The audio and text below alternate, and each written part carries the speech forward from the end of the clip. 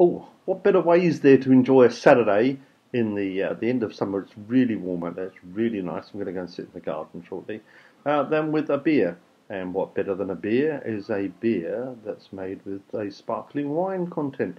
To give you a, a methode beer, which is a champagne beer, and it comes in a um, properly fancy bottle um, from the people at Garage Project and Nautilus the brewery. So a beer they made and they left it in the bottle with all the all the, I didn't leave it in the bottle. They left it with all the um, the uh, the lees, uh, the the sediments. Uh, then they've um, well drained it out, sieved it out, whatever you do to to make that better. Uh, plonked it in a bottle, and now I'm having it for um, a special treat. It's been in the fridge for far too long, um, and it's a beer I didn't really want to buy first time I saw it because I thought, mm, you know. Uh, but then I read some reviews, and um, it's probably a beer I should have picked up straight away. Um, and I'm going to go and find out now what could possibly go wrong with that kind of uh, combination.